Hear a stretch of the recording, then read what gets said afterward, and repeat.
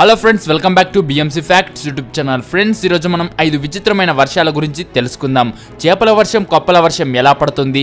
కేరళలో రక్తపు వర్షం కురవడానికి వెనుకున్న రహస్యం బూడిద వర్షం గురించి ఆకాశం నుంచి పడ్డ ఆబు గురించి ఇలా విచిత్రమైన వర్షాలు ఇంకా ఆకాశం నుంచి పడ్డ వాటి గురించి తెలుసుకుందాం. ఈ వీడియో చాలా ఇంట్రెస్టింగ్గా ఉంటుంది ఫ్రెండ్స్ మిస్ చేసుకోకుండా లాస్ట్ వరకు చూడండి.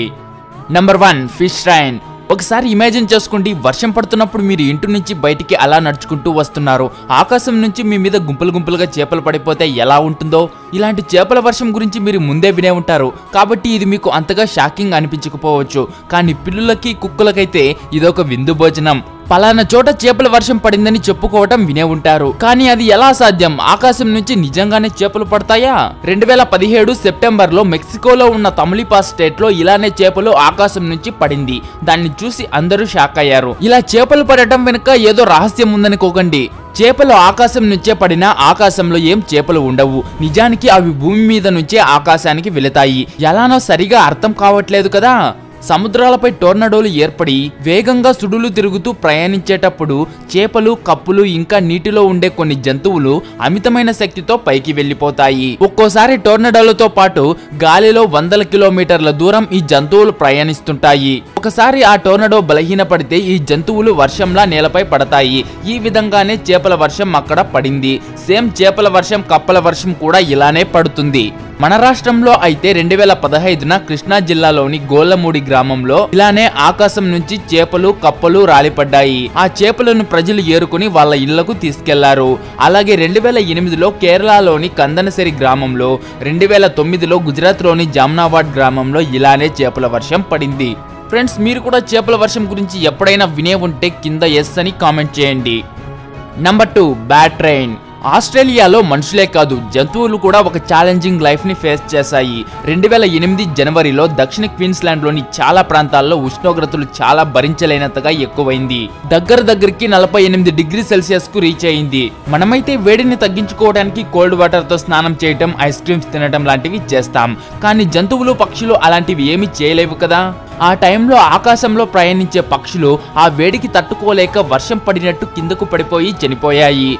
ఈ పక్షులు వర్షం నుంచి పడింది కాకపోవచ్చు కానీ వర్షపు చినుకులు ఎలాగైతే రాలుతుందో అలా ఆ పక్షులు ఆ వేడిని తట్టుకోలేక కిందకు పడిపోయి గిలగిలా కొట్టుకుంటూ చనిపోయాయి. మిగతా పక్షులు చనిపోయాయి కానీ కేవలం గబ్బిలాలు మాత్రం లక్ష వరకు చనిపోయి అక్కడక్కడ కుప్పలు కుప్పలుగా పడిపోయి ఉన్నాయి. ఇది చూసి చాలా మంది బాధపడ్డారు. పాపం లక్ష గబ్బిలాలంటే తక్కువ చెప్పండి friends. Number three blood rain అంటే రక్తపు వర్షం. ఆకాశం నుంచి రక్తం పడింది అనుకుంటున్నారా ఏమి? అంటే నిజమైన రక్తం కాదు ఫ్రెండ్స్ ఎర్రగా ఉండే వర్షపు నీళ్ళు ఇలాంటి వర్షమే రెండు వేల ఒకటిలో మన పక్క రాష్ట్రమైన కేరళలో పడింది. హిందూ పురాణాల ప్రకారం రక్తపు వర్షం కురవటం అంటే ఏదో ఒక వినాశనం జరుగుతుందని నమ్మకం. ఈ బ్లడ్ డ్రైన్లో అధిక శాతం ఎర్రటి కణాలు ఉండటం వల్ల ఇలా ఎర్రగా పడిందని అంటారు. ఇంకొంతమంది అయితే భూమి మీదకొచ్చిన ఉల్కలు పేలిపోవటం వల్ల వచ్చిన పొడి మొత్తం మబ్బుల్లో కలిసి రసాయన చర్య జరగటం వల్ల ఈ రకమైన వర్షం పడిందని అంటారు.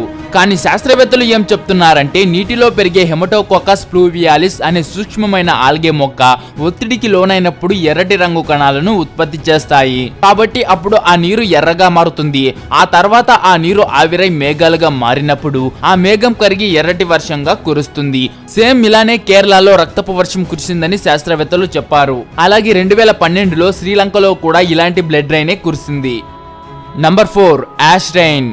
Indonesia తెలుసు కదా ఈ దేశాన్ని అగ్నిపర్వతాలకు కేర్ ఆఫ్ అడ్రస్గా చెప్పుకోవచ్చు. అలా నేను ఎందుకంటున్నానంటే ఈ దేశంలో నూట ముప్పై యాక్టివ్ వాల్కనోస్ ఉన్నాయి. వాల్కనోస్ అంటే అగ్ని పర్వతాలు. ఎప్పుడు పేలిపోతాయో అనే భయంతో అక్కడి ప్రజలు ఉన్నారు. అయితే ఇండోనేషియాలో ఉన్న కెలడ్ అగ్నిపర్వతం రెండు వేల పద్నాలుగు ఫిబ్రవరిన విస్ఫోటనం జరిగింది అంటే పేలిపోయింది. ఆ వాల్కెనో నుంచి వచ్చిన బూడిద అక్కడి నుంచి ఐదు వందల కిలోమీటర్ల దూరం వరకు నిండిపోయింది.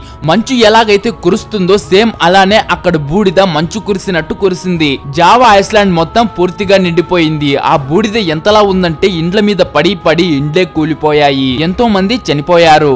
సురబయ సిటీ మొత్తం మందపాటి బూడిదతో నిండిపోయింది. ఆ బూడిద పీల్చటం వల్ల చాలా మంది చనిపోయారు. ట్రాన్స్పోర్ట్ మొత్తం పూర్తిగా ఆగిపోయింది. ఆఖరికి ఫ్లైట్లు కూడా ఆగిపోయాయి. పగలు కూడా రాత్రిలాగానే అయిపోయింది. వర్షం పడినట్టు బూడిద పడుతూ ఉంటే ఇంకెలా ఉంటుందో చెప్పాల్సిన పని లేదు. ఇది వర్షం కాకపోయినా ఆ బూడిద వర్షం లాగానే పడింది. అందుకే దీనిని యాష్ అని కూడా అంటారు. అంటే బూడిద వర్షం అని.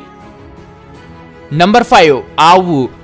పంతొమ్మిది వందల తొంభై ఏడవ సంవత్సరంలో సియాబ్ జపాన్లో జపాన్కి చెందిన కొంతమంది నావికులు తమ బోట్లో చేపలు పడుతున్న సమయంలో హఠాత్తుగా ఒక ఆవు ఆకాశం నుంచి వారి బోటు మీద పడింది. దీనివల్ల వారి బోటు సముద్రంలో మునగటం మొదలైంది. అదే సమయంలో అటువైపు పెట్రోలింగ్కి వచ్చిన రష్యన్ పెట్రోలియం బోట్ యొక్క సిబ్బంది ఆ నావికులను మునిగిపోకుండా కాపాడి తర్వాత వారిని జపనీస్ అధికారులకు అప్పగించారు. దాని తర్వాత ఆ జపనీస్ అధికారులు ఆ నావికులతో ఈ ప్రమాదానికి సంబంధించిన ప్రశ్నలు అడిగినప్పుడు వాళ్ళు ఇలా సమాధానం చెప్పారు. వారు తమ బోట్లో సముద్రంలో ఉన్నప్పుడు ఒక్కసారిగా ఆకాశం నుంచి ఒక ఆవు తమ బోటుపై పడిందని అందువల్ల బోటు ప్రమాదానికి గురైందని తెలిపారు. కానీ ఈ విషయాన్ని నమ్మని అధికారులు అనుమానంతో వారిని అరెస్ట్ చేశారు. పప్పలు చేపలు ఆకాశం నుంచి ఎలా పడుతుందో మనకు ముందే తెలుసు. అవి బరువు తక్కువ ఉండటంతో టోర్నడోలతో పాటు పైకి వెళ్ళిపోతుంది. కానీ ఆవులు బరువుగా ఉంటుంది పైకి వెళ్ళలేవు. మరి ఆకాశం నుంచి ఆవు ఎలా పడింది? దీని వెనుకున్న రహస్యం ఏంటంటే రష్యన్ ఎయిర్ ఫోర్స్ యొక్క ఒక ఉద్యోగి బీప్ కోసం కొన్ని ఆవులను దొంగలించి తన విమానంలో వేరే ప్రాంతానికి తీసుకువెళ్ళే సమయంలో ఆ ఆవుల బరువు విమానం మోయగలిగే కెపాసిటీ కంటే అధికంగా ఉండటంతో ఆ విమానం బ్యాలెన్స్ తప్పటం మొదలైంది. దాంతో ఆ వ్యక్తి భయపడి ఆ విమానంలో ఉన్న ఆవుల్లో కొన్నింటిని ముప్పై వేల అడుగుల నుంచి కిందకు తోసేశాడు. వాటిలో ఒకటే ఈ బోటు మీద పడింది. ఈ విషయాన్ని రష్యన్ ఎయిర్ ఫోర్స్ అధికారులు రెండు వారాల తర్వాత జపనీస్ అధికారులకు తెలియజేశారు. దాంతో వారు ఆ నావికులను విడిచిపెట్టారు. ఫ్రెండ్స్ ఇంతవరకు మీరు నా యూట్యూబ్ ఛానల్ కనుక సబ్స్క్రైబ్ చేసుకోకపోయింటే ఇప్పుడే కింద కనిపిస్తుంది కదా సబ్స్క్రైబ్ బటన్ దాన్ని నొక్కి సబ్స్క్రైబ్ చేసుకోండి. పక్కన ఒక బెల్ వస్తుంది. దానిపైన కూడా క్లిక్ చేయండి.